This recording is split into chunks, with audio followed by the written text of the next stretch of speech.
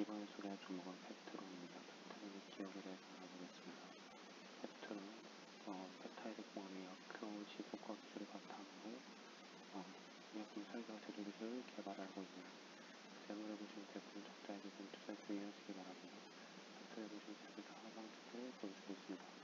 장기적으로는 현재 박스권 하나 만들고 최근에 돌파하는 것을 연습했습니다. 박스권 이탈하지 않고 지금 상승을 보여주고 있기 때문에 수익성력은 곧 돌파하고 그럼 들린 자리에서 한번 잡아볼 수 있겠습니다. 현재 돌파 당중에 있어서는 전고점 부분을 거점을 대략적으로 이곳, 이곳으로 늘려주, 늘려주었을 때 잡아볼 수 있겠습니다. 그래서